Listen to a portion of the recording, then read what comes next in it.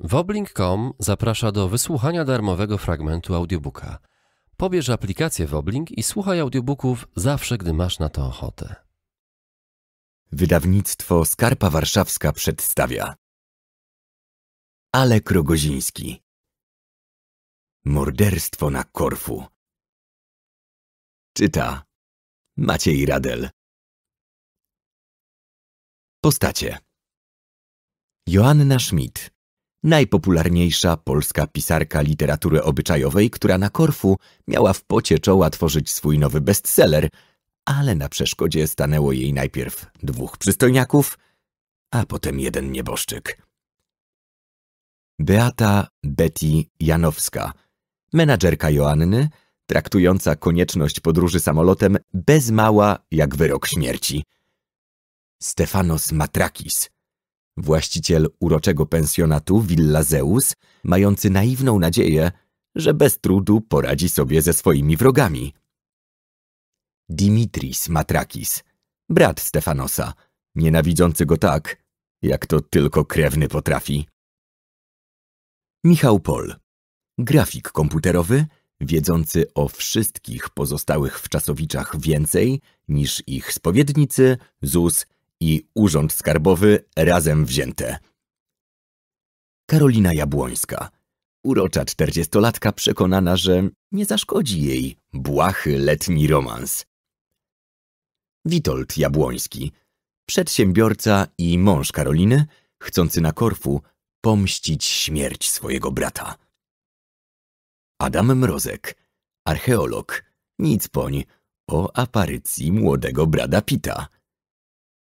Grażyna Ozdobińska, skłonna do wzruszeń i ponadnormatywnego mielenia językiem kobieta w pięknym wieku, zajmująca się handlem nieruchomościami. Paulina Ozdobińska, córka, a zarazem wspólniczka Grażyny, wieczna singielka. Jerzy Kilarski, właściciel agencji ochrony, patrzący przez palce na wybryki swojej o wiele młodszej żony. Magdalena Kilarska, wiecznie odejmująca sobie lat Megiera, uważająca się za duszę towarzystwa i ślepa na fakt, że każde miejsce, gdzie się pojawi, zaczyna błyskawicznie świecić pustkami. Katarzyna Jamrus, smutna i depresyjna dziewczyna, która zbyt późno uświadomiła sobie, czego była świadkiem.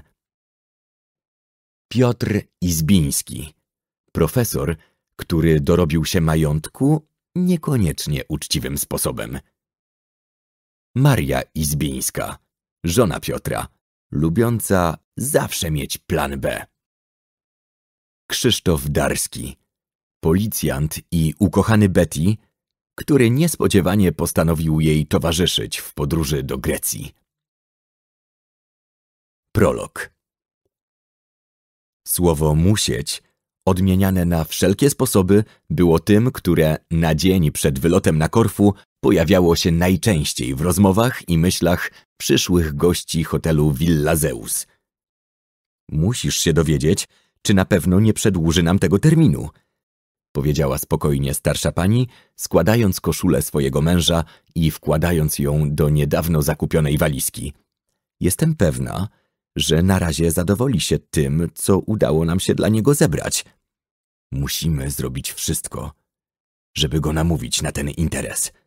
Westchnęła do swojej córki w tym samym czasie, ale za to w zupełnie innym miejscu Polski mocno zasmucona kobieta w średnim wieku, jeszcze raz uważnie lustrując wzrokiem leżące przed nią dokumenty. To nasza ostatnia szansa.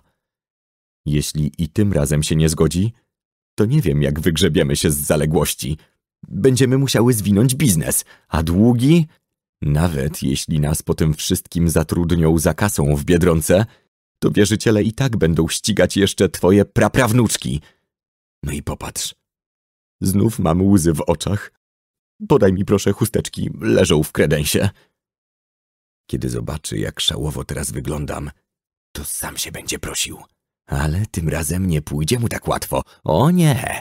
Musi mnie przekonać, że mu naprawdę zależy. Myślała nieco później atrakcyjna, choć przez wiele osób odbierana jako pretensjonalna, blondynka, siedząc na fotelu w salonie kosmetycznym i poddając się magicznym zabiegom, mającym dostosować jej wygląd do wieku, który wpisywała sobie we wszystkich nieurzędowych oraz co mniej ważnych urzędowych dokumentach, tudzież podawała znajomym. Nie możesz mnie znowu zawieść, mówił gniewnie mniej więcej w tej samej chwili w wagoniku metra mocno leciwy pan, patrząc uważnie na swojego młodego rozmówcę, który, co zauważał z pewnym niepokojem, nie pierwszy raz sprawiał na nim wrażenie półgłówka. Nie przyjmę żadnych tłumaczeń. To naprawdę twoja ostatnia szansa. Musisz mi to przywieźć. Albo pożegnasz się z jakąkolwiek szansą na karierę. Już ja się o to postaram. Muszę go wreszcie o to zapytać. Tylko, czy znów mnie nie okłamie? Nikomu już nie mogę ufać. Zupełnie nikomu. Smutna dziewczyna siedziała w kafejce blisko wyjścia ze stacji metra i starała się nie rozpłakać. Kilkadziesiąt minut wcześniej wyszła z domu, bo myślała, że wśród obcych ludzi z pewnością się nie rozklei. Teraz jednak wcale nie była tego taka pewna. Zamówiła kawę i ostatkiem sił powstrzymywała się, żeby obok cynamonu i cukru trzcinowego nie dodać do niej także swoich łez, wraz z sypiącym się z jej oczu wczorajszym makijażem. Wczoraj. Jak to było dawno. Cała epoka. Wtedy była jeszcze taka szczęśliwa. Przyszły dzisiaj ostatnie dokumenty od notariusza. Relacjonowała w tym samym czasie przez telefon swojemu partnerowi sympatyczna czterdziestolatka, zastanawiając się jednocześnie, czy lepiej jej będzie wrócić do domu metrem czy też autobusem. Metro było co prawda szybsze, ale za to wiecznie zapchane, a poza tym źle jej się kojarzyło. Zawsze, gdy decydowała się z niego skorzystać, natychmiast w jej pobliżu pojawiał się ktoś od dawna wymagający kąpieli, ewentualnie natychmiastowej dezynfekcji. Nie, lepiej będzie skorzystać z autobusu. Teraz mamy wszystkie dowody w ręku. Będziemy musieli mu je pokazać i zapytać, jak szybko zwróci nam to, co powinien. I z góry ci mówię, że jeśli znów zacznie kręcić tak jak poprzednio, po powrocie od razu idziemy na policję. Jeśli to, o czym mi pisałeś ostatnio, jest prawdą, to mamy spory problem. Czytał na swoim laptopie w tym samym czasie kilka kilometrów dalej przystojny czterdziestolatek. Zaczynam się obawiać, że ta historia nie zakończy się happy endem. Pierwsze, co musimy zrobić, kiedy już tu dotrzesz, to natychmiast się naradzić. Nie mamy ani chwili do stracenia. Czy ty naprawdę musisz zabierać na wakacje też matę? Dziwiła się mniej więcej godzinę później Betty, patrząc, jak jej chlebodawczyni, najpopularniejsza polska autorka romansów, Joanna Schmidt, upycha w przerażająco dużej walizie mocno zmiąchane różowe wdzianko, wykończone frędzlami i ozdobione na froncie wielkim złotym słoniem, wnosząc po proporcjach chorującym na przerost trąby. Toż to wygląda jak z darów dla powodzian. To jest najnowsza Zosia Gałczyńska. Zaprotestowała ogniście jej pracodawczyni.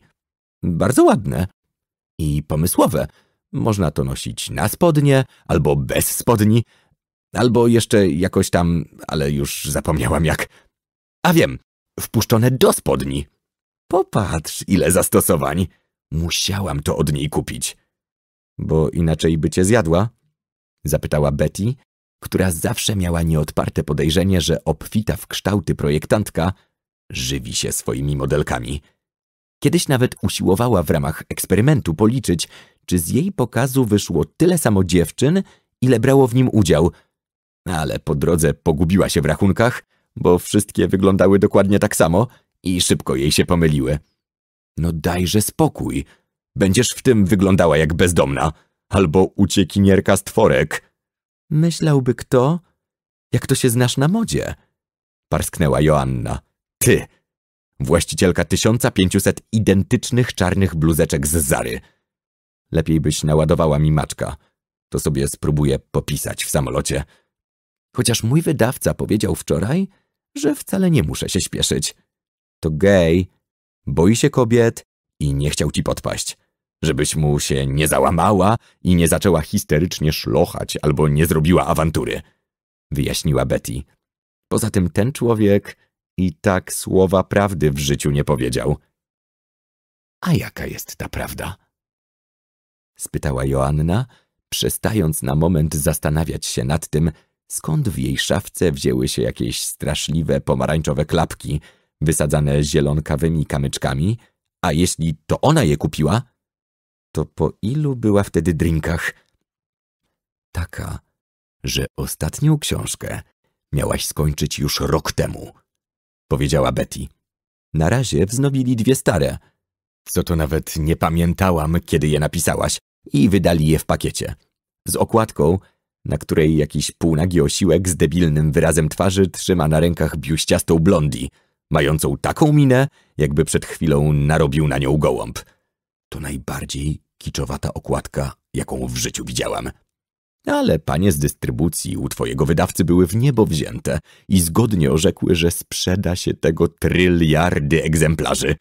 A co do reszty, prawda jest taka, że jeśli na Korfu nie dokończysz tego, co obiecałaś wydawnictwu, to będziemy musiały zapłacić karę za niedotrzymanie terminu i to dużą.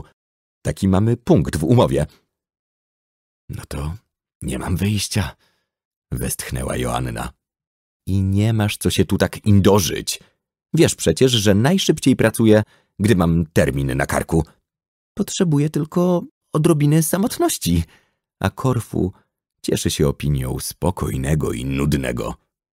Bo ty tam nigdy nie byłaś, pomyślała Betty, tknięta jakimś złym przeczuciem. Gdyby tylko obie mogły przewidzieć, jak potoczą się kolejne dni, z pewnością z miejsca skasowałyby rezerwację i czym prędzej zaczęły rozpakowywać walizkę. Niestety, żadna z nich nie miała tego dnia ataku jasnowidzenia. Rozdział pierwszy Joanna zamknęła oczy i starała się nie patrzeć na stojącą tuż przed nią stewardesę objaśniającą, jak zachować się w samolocie. Tego jednego momentu lotu, kiedy to załoga zaczyna synchronicznie machać rękami niczym tancerze w teledysku Madonny i tłumaczyć, że gdy zdarzy się katastrofa, najlepsze co można zrobić, to zająć się dmuchaniem w wentylek kamizelki pływackiej, serdecznie nie znosiła. Cała reszta nie robiła na niej wrażenia. Ani turbulencje, ani nagłe zmiany wysokości, ani nawet komunikaty o awaryjnych lądowaniach. Tych pierwszych nie zauważała, a najczęściej je w ogóle przesypiała. Drugie traktowała jak oryginalną rozrywkę, a trzecie normę. Jak się zepsuje samochód, to podjeżdżasz do warsztatu i ci go reperują. Samolotu nie naprawią w powietrzu, więc musi wylądować. Proste tłumaczyła swojej menadżerce Betty, która miała akurat odwrotne podejście do latania. Choć na ziemi zachowywała się o wiele bardziej racjonalnie niż jej pracodawczyni, w powietrzu z miejsca traciła zdrowy rozsądek. Samoloty uważała za wynalazek sił nieczystych. Każda podróż nimi powodowała u niej ataki paniki już tydzień przed wylotem, a na lotnisku sprawiała wrażenie osoby opóźnionej w rozwoju i z nerwów nie rozumiała, co się do niej mówi. W czasie lotu zamieniała się zaś w żonę lota. Traciła zdolność mowy, dostawała szczękościsku, napadów duszności, tików nerwowych i tysiąca innych przypadłości. Joanna najpierw próbowała ją upić, co nie dało żadnego efektu poza jednym. Po godzinie lotu Betty musiała skorzystać z papierowej torebki. I to kilka razy. Potem zapisała ją na specjalny kurs dla osób cierpiących na aerodromofobię. Rezultat tego eksperymentu był dość spektakularny, bo w momencie, gdy ruszyły od rękawa na pas startowy, Betty zamknęła oczy i zaczęła mamrotać pod nosem. Jeden, dwa, trzy, nie boję się latać. Jeden, dwa, trzy, samolot jest moim przyjacielem. Jeden, dwa, trzy, nie boję się latać i powtarzała to przez kolejnych kilka minut, sprawiając na swojej pracodawczyni z każdą chwilą coraz silniejsze wrażenie osoby popadającej w obłęd, po czym Gdy tylko maszyna oderwała się od płyty lotniska, zemdlała. W końcu wkurzona Joanna wpadła na rewolucyjny pomysł i po cichu zaczęła przed lotem dosypywać swojej przyjaciółce do napojów środki nasenno uspokajające. Zdawało to egzamin znakomicie, a wpadka zdarzyła się tylko jedna, kiedy to dwa razy w ostatniej chwili przełożono im godzinę lotu i Joanna, bojąc się, że leki przestaną działać, podała Betty kolejne ich dawki. W sumie w ciągu kilkunastu godzin menadżerka połknęła ilość medykamentów zdolną powalić nawet młodego tygrysa. Do samolotu wsiadła jeszcze o własnych siłach, ale już po dwóch godzinach lotu na lotnisku w Warszawie wyniósł ją z niego przystojny steward. Betty odzyskała przytomność następnego dnia w swoim własnym mieszkaniu z koszmarnym bólem głowy. Joanna zaś przez parę kolejnych tygodni odbywała bardzo satysfakcjonujące randki ze stewardem, co stało się potem dla niej inspiracją do napisania powieści Podniebne uniesienia, uznanej przez polską edycję Kosmopolitan za jeden z dziesięciu najlepszych rodzimych erotycznych romansów wszechczasów, a przez prasę amerykańską za słowiańską odpowiedź na pamiętniki Fanny Hill. Od tego czasu Joanna została stałą klientką apteki i regularnie uzupełniała swoje zapasy środków nasennych przeznaczonych dla Betty. Jako popularna autorka, której romanse przetłumaczono na kilkanaście języków, często zapraszana była na spotkania z czytelnikami za granicą i musiała wtedy mieć przy boku swoją agentkę, która, kiedy tylko nie znajdowała się w przestworzach, była jej prawą ręką i bez której co przyznawała w duchu z lekkim żalem, nie osiągnęłaby w życiu aż tak wiele. Próbowała co prawda kiedyś zrobić Betty przyjemność i dała się jej przekonać do ekspresowych i komfortowych usług PKP, ale po tym jak tarabaniły się do Pragi przez dziesięć godzin w pamiętającym czasy PRL-u gruchocie, którym, wnosząc po zapachu, transportowano wcześniej osoby cierpiące na nietrzymanie moczu, Joanna stanowczo odmówiła pokonywania większych odległości czymś innym niż samolot. I od tej decyzji nie było odwołania. Teraz jednak pisarka podróżowała prywatnie i nie potrzebowała Betty, która z ulgą przyjęła propozycję wzięcia sobie dwóch tygodni wolnego. Po ostatnich mrożących krew w żyłach wydarzeniach, kiedy to Joanna znalazła w domu zwłoki swojego kochanka, zamordowanego ciosem siekierą w potylicę i po tym jak obie wmieszały się w śledztwo, z którego cudem uszły z życiem, autorka potrzebowała choć chwili odpoczynku. Tym bardziej, że jej wydawca zaczynał już miotać groźby karalne dotyczące tego, co zrobi, gdy Joanna nie odda mu szybko kolejnej, z dawien dawna obiecywanej powieści. Autorka co prawda miała rozgrzewane i niedokończone dwie książki – ale zaczęła je tworzyć już tak dawno temu, że teraz nie pamiętała, co właściwie chciała zrobić z wymyślonymi przez siebie bohaterami i po przeczytaniu na nowo swojej twórczości miała tylko ochotę czym prędzej ich pozabijać. Niestety pisała ckliwe romanse, a nie kryminały i takie radykalne rozwiązanie nie wchodziło w rachubę.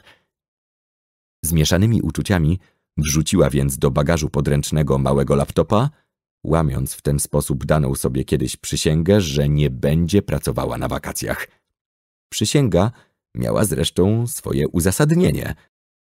Kilka lat wcześniej Joanna, też przyciśnięta wtedy terminami, tudzież rozpaczliwym okrzykiem swojego poprzedniego wydawcy, trzeci raz przesuwamy termin druku.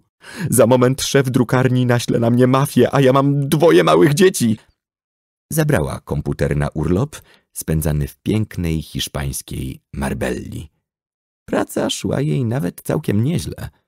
Bohater powieści seksowny, barczysty, zabójczo przystojny i obdarzony ognistym temperamentem Julio bez problemu wyswobodził się z rąk krwiożerczych piratów, którzy skrępowali go sznurem tak, aby mógł szybko przerwać więzy za pomocą pocierania ich o jakąś zardzewiałą blachę, która, jak wiadomo, zawsze usłużnie nawinie się na statku pod rękę. Następnie, spaliwszy mściwie, acz i zgodnie ze swoim kreślonym przez 300 stron powieści charakterem ich łajbę, wracał w szalupie ratunkowej na uroczą wyspę.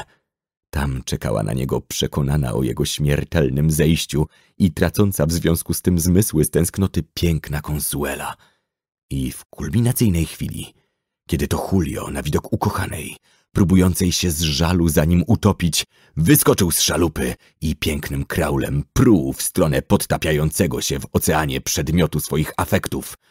Obok Joanny, uwieczniającej tę dramatyczną scenę tuż nad basenem, przeleciała szaleńczym kłusem, niczym stado wizygotów pędzących rabować Rzym, chmara dzieci.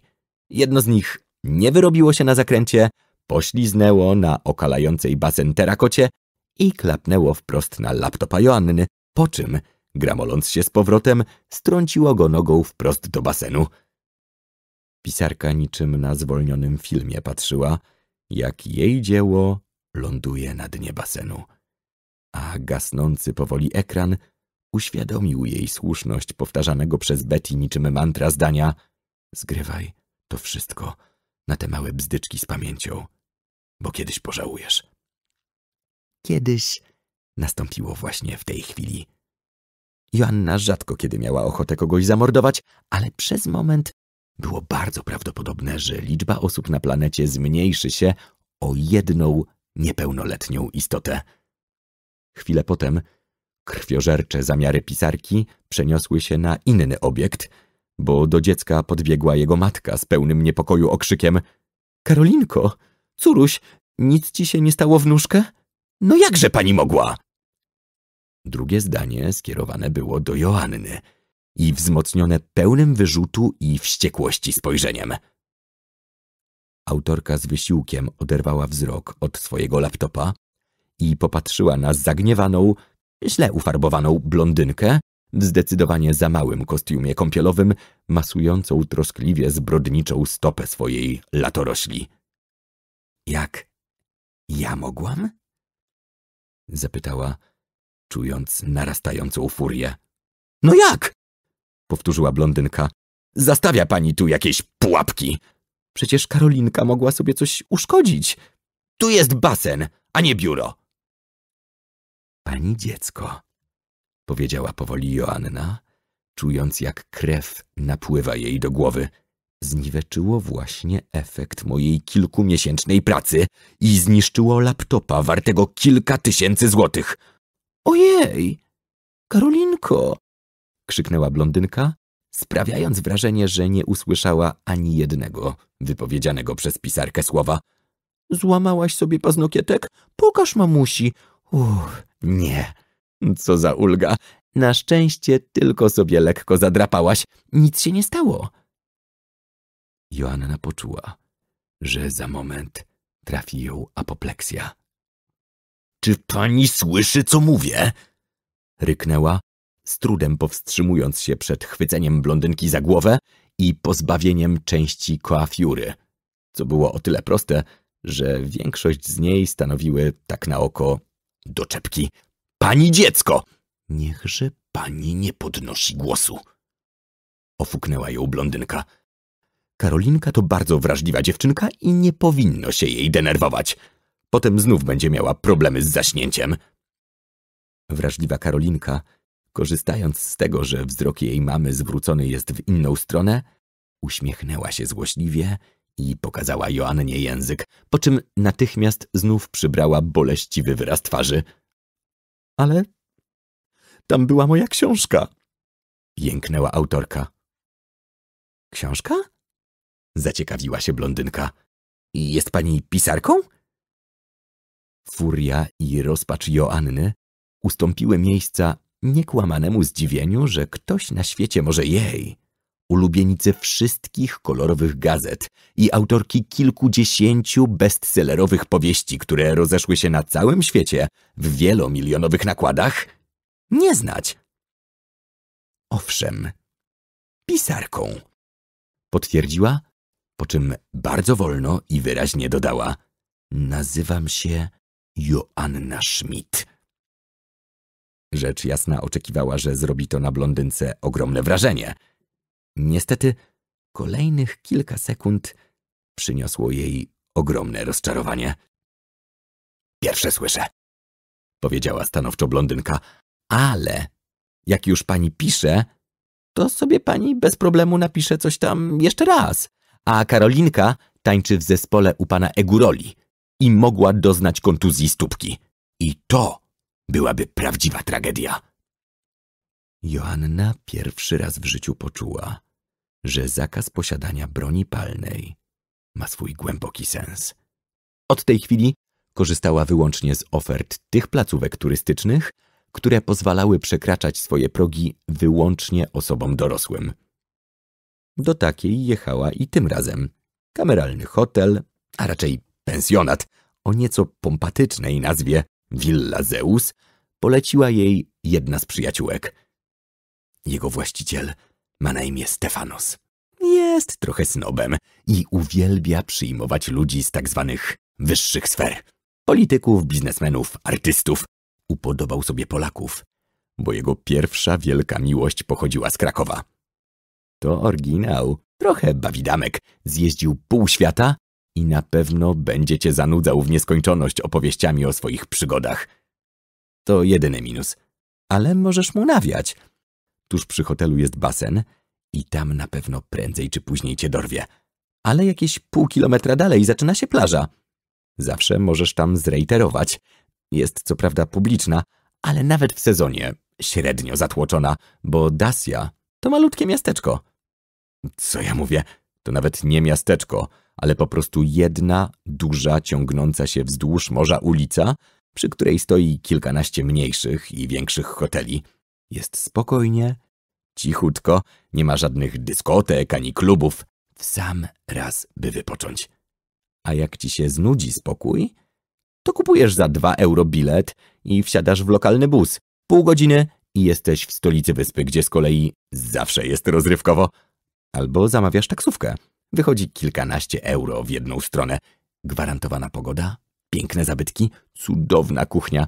Zobaczysz, na pewno będzie fajnie. Zachwalała, aż wreszcie Joanna dała się namówić.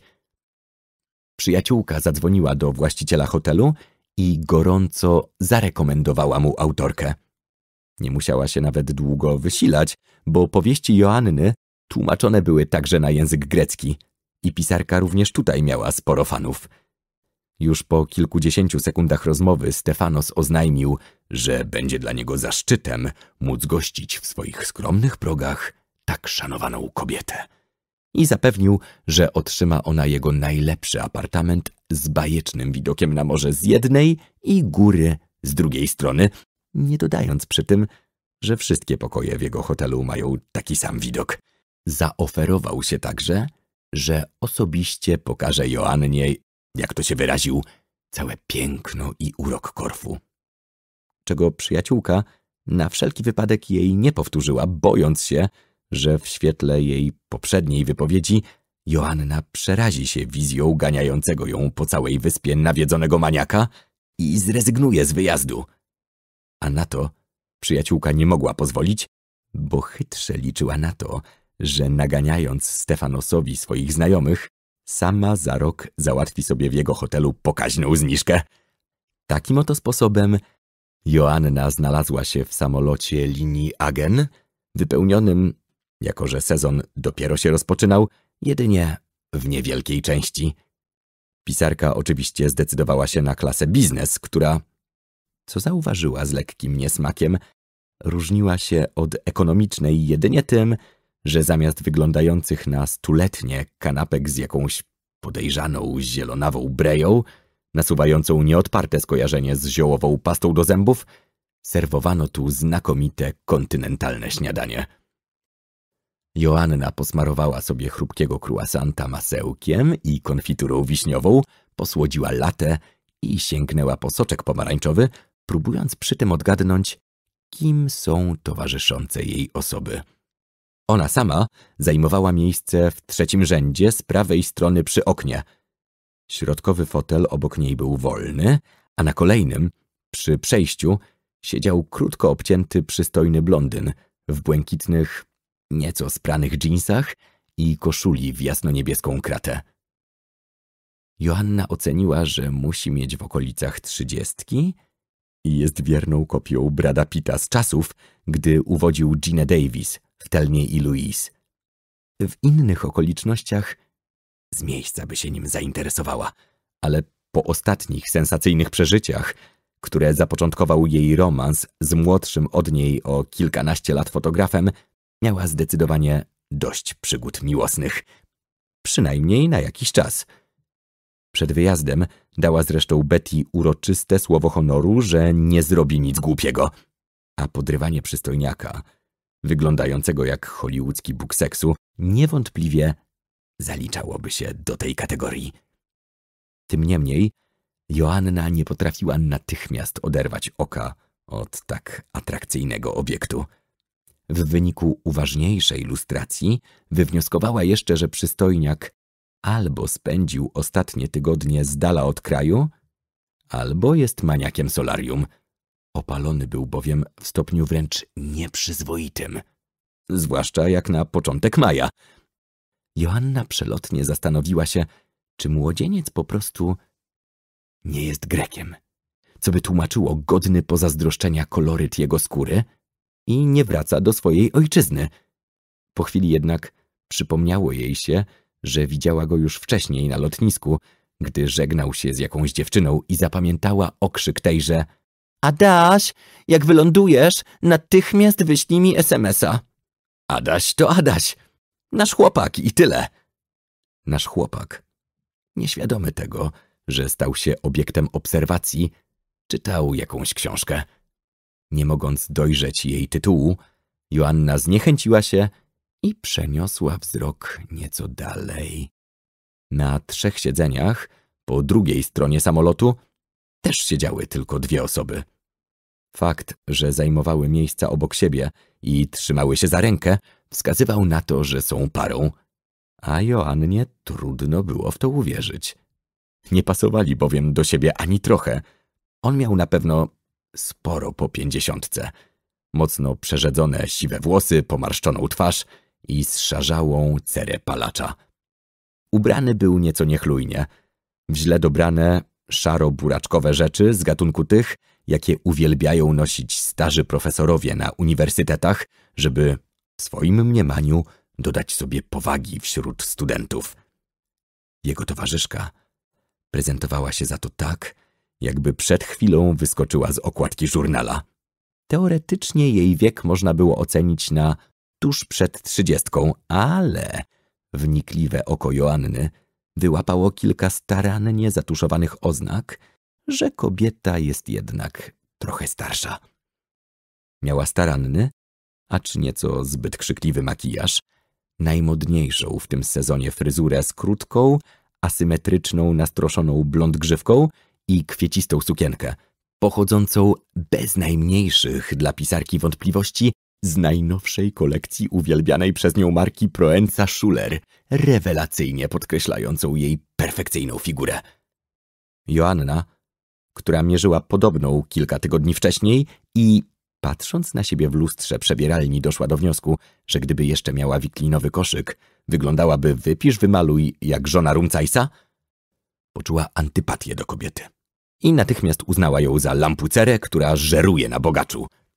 Jej partner co prawda nie wyglądał na multimilionera, ale pozory zawsze mogły mylić.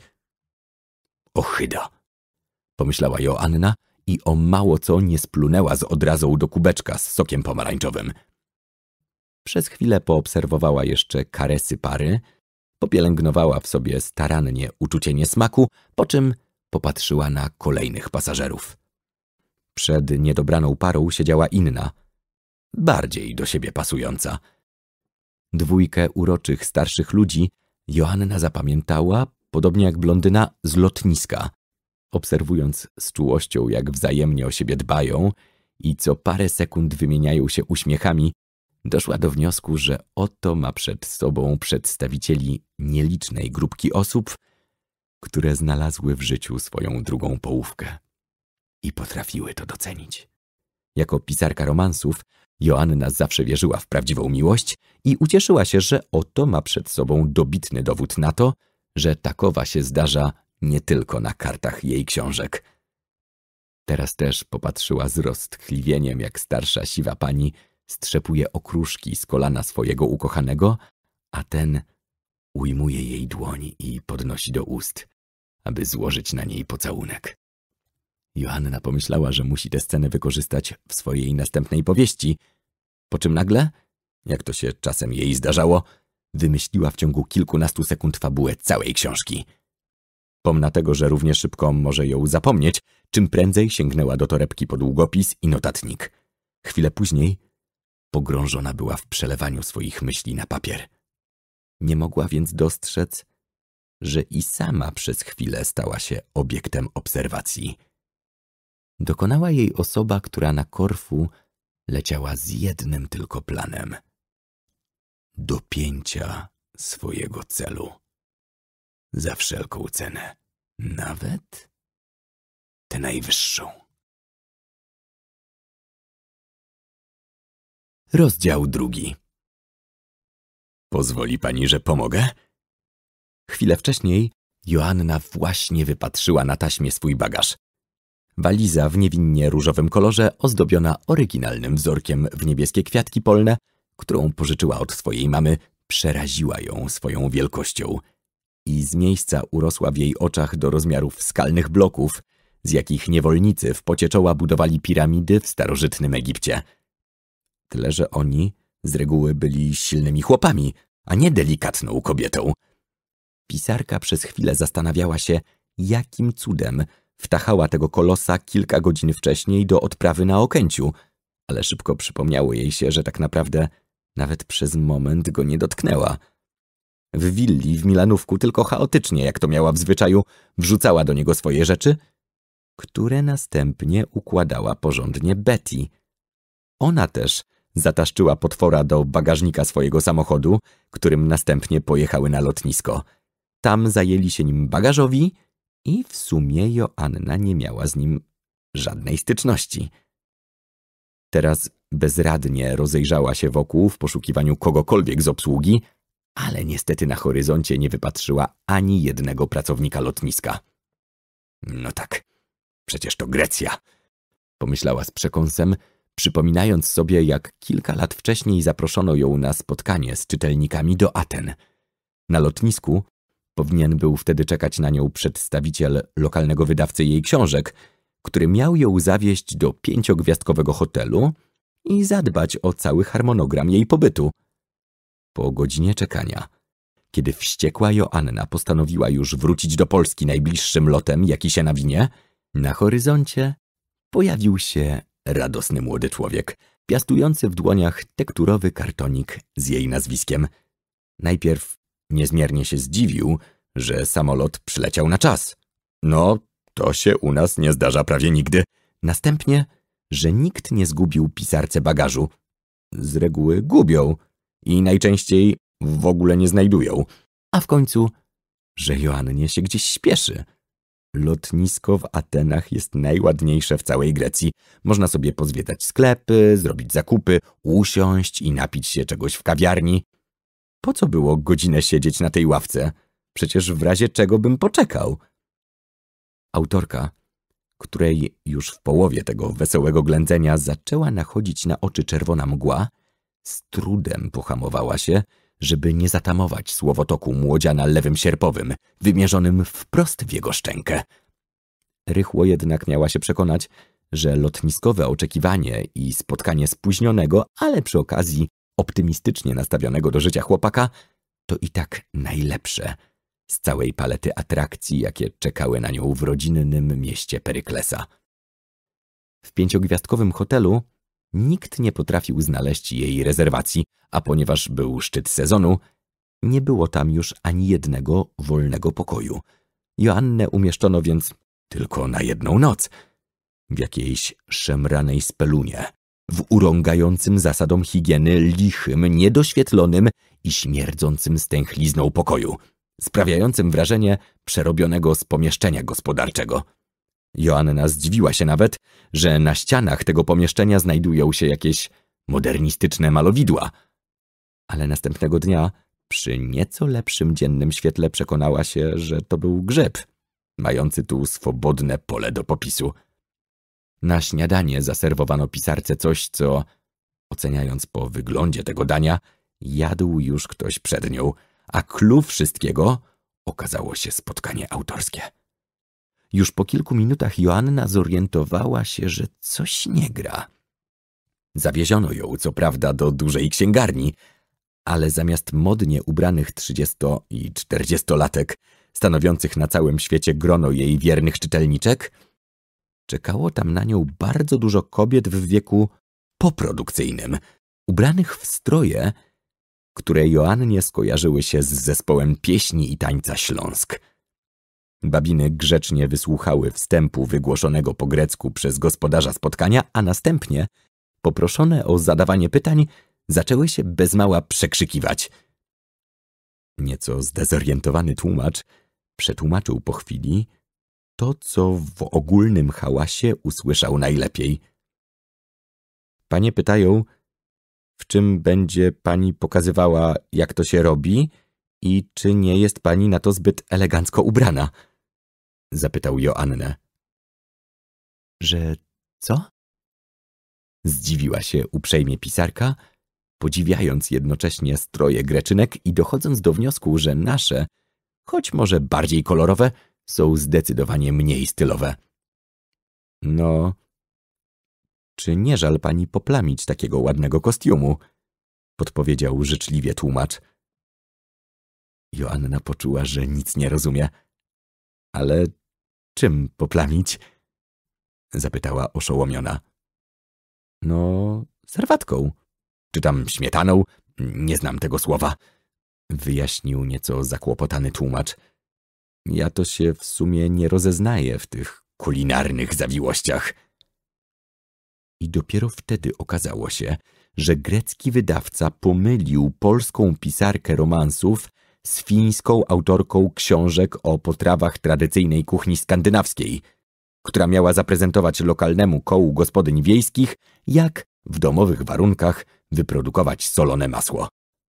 To, że po wyjaśnieniu sprawy udało jej się ujść bez żadnego uszczerbku na zdrowiu z rąk rozgniewanych kobiet, Joanna sama uważała za cud. Teraz jednak cud nie chciał się zdarzyć i pisarka oczyma wyobraźni zaczęła się widzieć na łożu szpitalnym w otoczeniu konsylium ortopedów, bezradnie dumających, co zrobić z jej kręgosłupem, złamanym w wyniku próby podniesienia walizki. I wtedy znienacka pojawiła się, dosłownie, pomocna męska dłoń. Sięgnęła po walizkę i z lekkością, jakby ta ważyła pół kilo, zgarnęła ją z taśmy i postawiła na podłodze przed Joanną. Ta przeniosła wzrok z ręki na jej właściciela i w duchu aż jęknęła. Oto stał przed nią mężczyzna prosto z jej marzeń, wysoki, idealnie zbudowany, co podkreślał jego obcisły t-shirt. Krótko obcięty, ale bynajmniej nie wygolony jak kryminalista, czego pisarka nie znosiła. Brunet, z trzydniowym zarostem i seksownym uśmiechem. Joanna jeszcze raz musiała sobie powtórzyć w duchu, że obiecała Betty nie zrobić nic głupiego, a już zwłaszcza z miejsca się zakochać. Bardzo panu dziękuję, powiedziała, zastanawiając się jednocześnie w duchu, czy od oparcia w samolocie nie zrobił jej się z tyłu na głowie jakiś idiotyczny kołtun. Sama nie dałabym rady. Na pewno znalazłby się ktoś, kto pomógłby pani z taką samą chęcią jak ja, odpowiedział szarmancko mężczyzna, po czym spojrzał na Joannę z troską. Poradzi sobie pani dalej sama?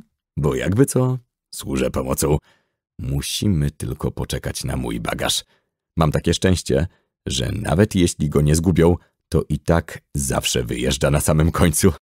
Już się nawet zdążyłem do tego przyzwyczaić.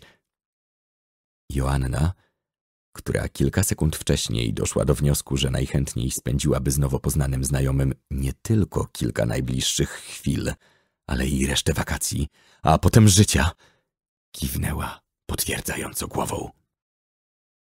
Pan pierwszy raz na Korfu? Próbowała podtrzymać konwersację.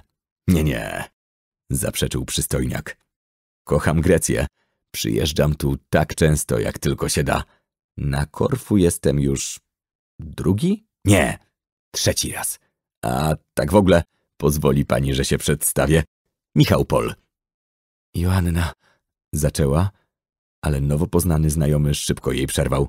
Nie sądzę, aby znalazł się w naszym kraju ktoś, kto nie wiedziałby, jak się pani nazywa. Powiedział i na jego ustach znów zagościł seksowny uśmiech. Chyba, że ostatnich kilka lat spędził w kompletnym odosobnieniu. Joanna podziękowała mu skinieniem głowy za komplement, a w duchu pogratulowała talentów dyplomatycznych i taktu. W końcu jej oszałamiająca kariera rozpoczęła się nie kilka, a już dobrze ponad dwadzieścia lat temu. Gdzie się pan zatrzymuje? Zapytała, zastanawiając się, czy to pytanie nie zabrzmiało zbyt nachalnie. W małej mieścinie, niedaleko stolicy, odpowiedział Michał. Nazywa się Dacia. Joanna zamarła, a zbieg okoliczności wydał jej się wręcz niewiarygodny. To mała wyspa, a Dacia to jeden z najpopularniejszych tutejszych kurortów. Próbowała się w duchu uspokoić, ale wbrew jej staraniom wyobraźnia z miejsca usłużnie zaczęła podsuwać jej kolejne kuszące obrazy. Ona z przystojniakiem na plaży. Wspólne rozmowy. On podaje jej drinka, ich dłonie się stykają. Oboje czują dreszcz podniecenia. Razem przekomarzają się w czasie kąpieli w morzu. Wieczorem idą na romantyczny spacer. Może szemrze kusząco, księżyc świeci jak szalony, a oni w tak uroczej aurze wymieniają pierwsze pocałunki. Jego ręka delikatnie zaczyna błądzić po jej boku. A pani? Joanna, znienacka oderwana od rajskich wizji, spojrzała półprzytomnie na swojego towarzysza i z trudem powstrzymała się od odpowiedzi. Gładzę pana po plecach, stanowiącej logiczny ciąg dalszy sytuacji, którą jeszcze przed chwilą miała przed oczami. A ja? spytała, nie mogąc sobie nijak przypomnieć, o czym poprzednio rozmawiała ze swoim kompanem. Gdzie się pani zatrzymuje? Podpowiedział jej z uśmiechem na twarzy. Joanna wreszcie się ocknęła. A niech pan sobie wyobrazi, że w tym samym miasteczku, odpowiedziała, w jakimś prywatnym hoteliku. Jeśli powie pani, że w willi Zeus, to zacznę wierzyć w cuda. Stwierdził, a w jego głosie zadźwięczało niedowierzanie połączone, co Joanna odnotowała z radością, z lekką nadzieją. W takim razie właśnie pan zaczął, roześmiała się. I jak tu nie wierzyć w przypadki? Właśnie tam spędzę dwa najbliższe tygodnie. Michał spojrzał na nią uważnie i przez chwilę pisarka dostrzegła w jego oczach coś więcej niż poprzednio. Dziękujemy za wysłuchanie fragmentu audiobooka. Pełną wersję oraz e-booka i książkę papierową znajdziesz na woblink.com i w aplikacji Woblink. Jeżeli chcesz dostawać powiadomienia o najlepszych audiobookach, zasubskrybuj nas już teraz. woblink.com. Czytanie zdarza się wszędzie.